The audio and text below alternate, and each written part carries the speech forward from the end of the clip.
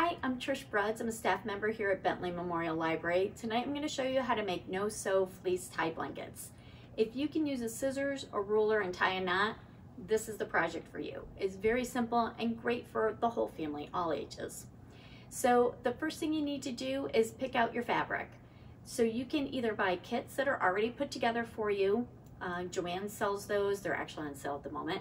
And those will have typically a pattern and a solid coordinating color they're already pre-cut, ready to go. Um, you can also buy off the bulk, which is what I did. I picked a, a pattern that I liked. I found a coordinating color. So now what I need to do is I need to make those pieces the same size. So what I've done already is I've cut three edges and I've left the final edge so I can show you a couple of things. One, you wanna look for a selvage edge. So this piece makes it really obvious because it has Joann and Anti-Pill written right on it. Easy to find. The one that's a little trickier is, for example, on my solid piece and on the opposite side of both fabrics, it's just tiny little holes, which I'll zoom in in a second to show you when we start to do some other work. So you need to get those cut off. When you're cutting your fabric, you just wanna make sure that you wind up with your length and width being a whole inch number. So for example, if it's 72 inches long, you want it to end 72, not 72 and a half or 72 and three quarters. And the reason for that is we're going to be cutting strips. So ours are gonna be one inch. You could also do two inches if you wanted them a little wider. But either way, you wanna make sure when you get to the end that you don't have a little half inch piece or three quarter inch piece, which is going to look a little off.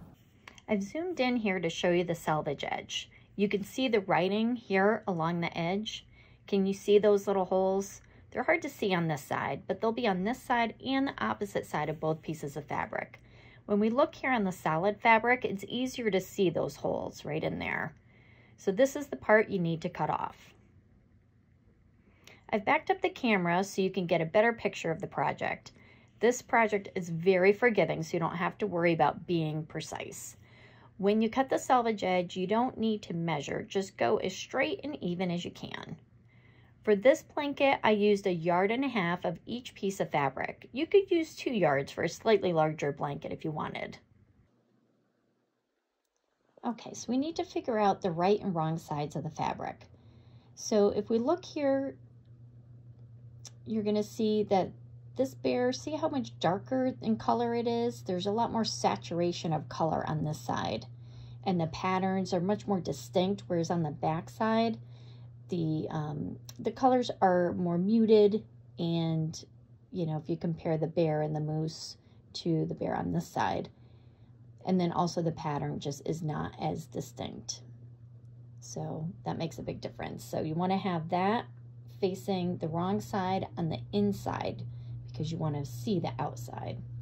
Same thing with the solid colors. See how there's more color saturation here and versus this one is more muted. So you want the more muted one in the middle and you want to keep this deeper color, which is your good side, facing out. Okay, now that our fabric is prepped, we need to cut a square off of each corner. This way, when we tie the blanket, we won't get bunching here in the corner. So I cut a 4 by 4 inch square out of a cereal box to use as my template. And uh, these work great. So I'll cut this corner out. I'll just make a little snip on this side. Okay, same thing over here. And then I'll just cut right up to meet them right in that top corner there. And then I'm going to do the same for the other three corners. So you have all four corners cut out. Now that we have all four corners cut out, our next step is to cut our strips. So you're gonna need a yardstick or a ruler. Um, a regular ruler will work just as well. So I cut out an extra four by four inch square out of my cereal box to help me keep the ruler straight as I move down the length of the blanket.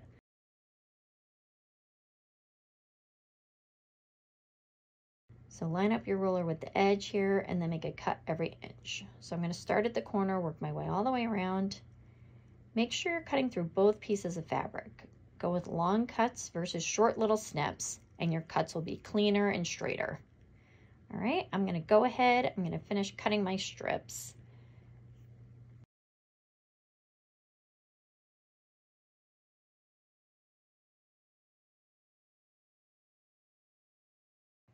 There are several different tying methods. This one starts off like you're tying a shoe. So you're going to cross your bottom fabric over. See how you create a hole here with your finger. Then you're going to pull that through and pull it tight. Okay. So you're going to do that again. This time you're going to take the pattern piece, pull that over the solid. Okay, you're going to pull right through that hole and tie it tight. So you want it tight and up near the body of the blanket, and that's what holds your blanket together. So we want to make sure those are nice and secure. You can adjust it a bit um, to make sure it's at the edge.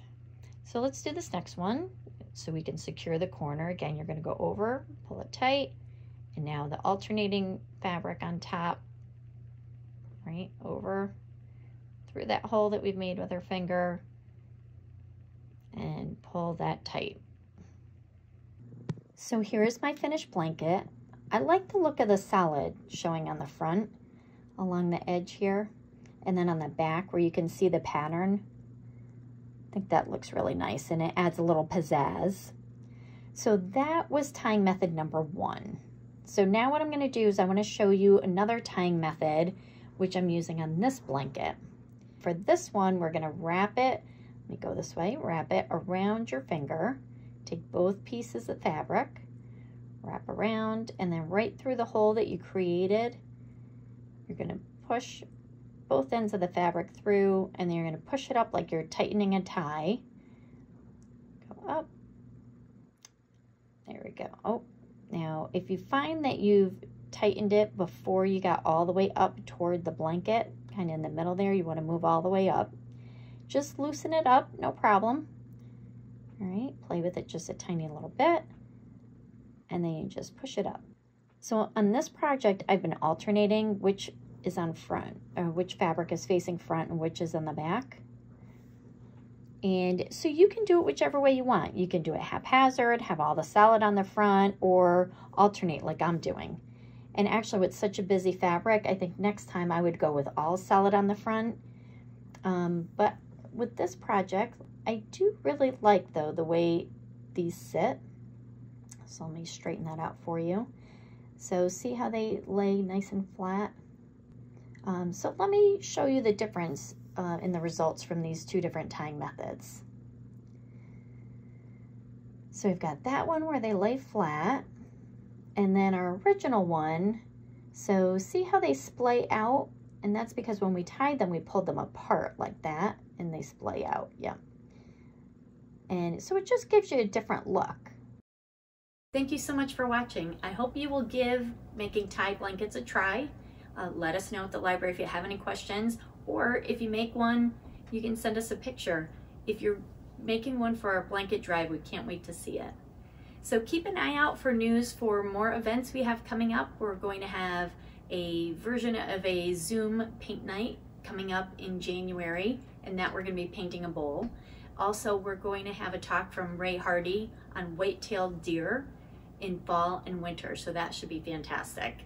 And there's even more coming, so keep an eye out, and we hope to see you soon. Take care.